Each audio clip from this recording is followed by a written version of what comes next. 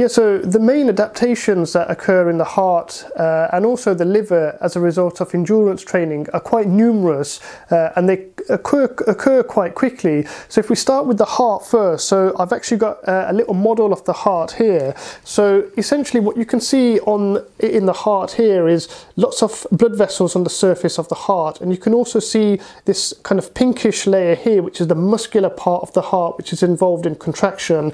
Now what happens with exercise exercise training, particularly aerobic exercise training, is we start to get an increase in the dilation of these blood vessels. So these blood vessels become wider and that allows more blood flow to go to uh, the tissue here. Uh, and they also increase in number as well. So they undergo a, um, a, physiological process which allows more blood vessel formation. So that means the heart can become um, better supplied with blood. Now this change is also happening in our skeletal muscles as well. So when we start to do aerobic exercise we start to have more blood flow requirements from the working muscles because the muscles need more oxygen and nutrients so we start to get uh, better dilation or widening of the blood vessels and we also get an increase in the number of blood vessels and that increases uh, the blood flow to, to the tissue. Now, in the heart, we also have uh, uh, strengthening of the heart muscle. So the left ventricle in particular, which is very important for pumping blood to the rest of the body, that ventricle becomes more muscular. And because it becomes more muscular, each beat of the heart, it can pump more blood to the rest of the body.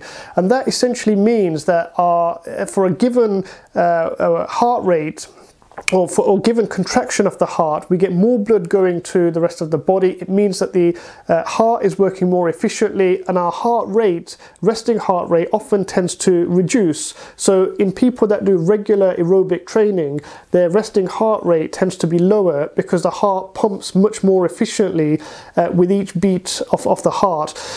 Also in the heart we have lots of uh, cells which are responsible for providing the energy to the heart for it to keep beating and again when we do aerobic training we tend to get improvements in those cells, we get an increase in those cells so the heart is able to use energy much more efficiently to pump blood to the rest of the body. So those are the main changes that are occurring in the heart. Now in the liver we know that the liver is very important for detoxification uh, and, it, and it's important in the regulation of various biological molecules. Um, it's also the site where cholesterol is uh, stored as well, and it's also the site where cholesterol is actually used if, we, if it's needed elsewhere in the body.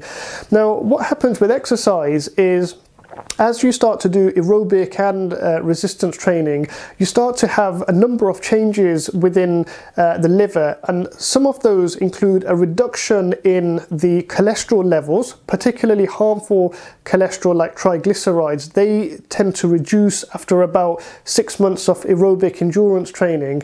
Um, and you also have an increase in uh, what we call antioxidant activity. So, antioxidants are these uh, molecules in the body which prevent damage from these other cells called free radicals uh, or these other molecules called free radicals.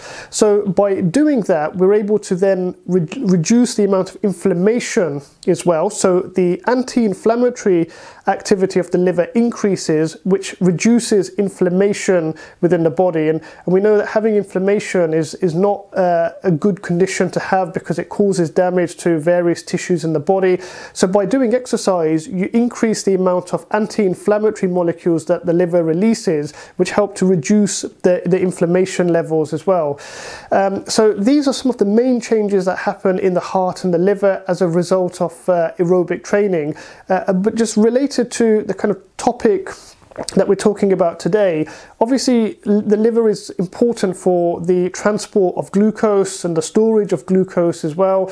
So by doing exercise training, you actually help to promote glucose storage in the liver, and that helps to helps you to control your blood glucose uh, much better, and it can help to uh, reverse insulin resistance, particularly if you're in a stage where uh, it's not progressed to type 2 diabetes. Uh, so by doing exercise training, you can actually to, to lower your blood glucose levels because more of it gets stored into the liver. So yes, those are the main changes that happen uh, in the heart and the blood vessels after a, a, few weeks to a few months of endurance, aerobic exercise, uh, and also resistance training as well.